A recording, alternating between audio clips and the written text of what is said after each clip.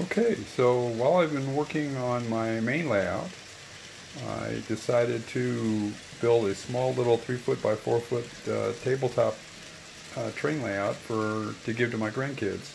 Hopefully I can get them off of video games and playing with trains instead. So that's, uh, that's the whole idea behind this. And also I just wanted everybody to see how easy it is to set up a really small layout that's got uh, a little bit of interest to it. You know, it's got uh, three loops, two going through a tunnel, one uh, running around on the inside. It's got two outside spurs. Uh, you can see there's a train sitting on one spur and the other spur is empty. So I could take the, the train that's running on the far outside right now, the, the Burlington Northern train, and I could put it on the empty spur and then I could back the uh,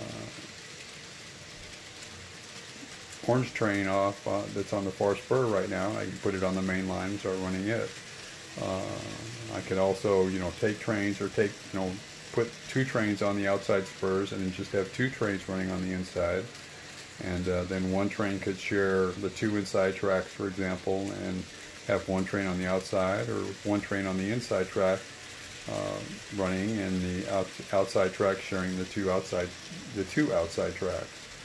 Uh, so it's a, it's a fun little layout to play with, and hopefully the kids will get interested and and uh, and want to uh, get involved in, uh, in model trains.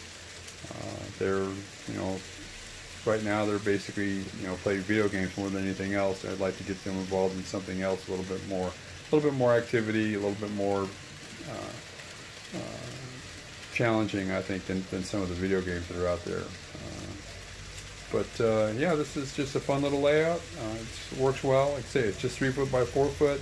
Just shows you what you can do in in a small little table like this and uh, have some fun. Everybody enjoy and have a great day.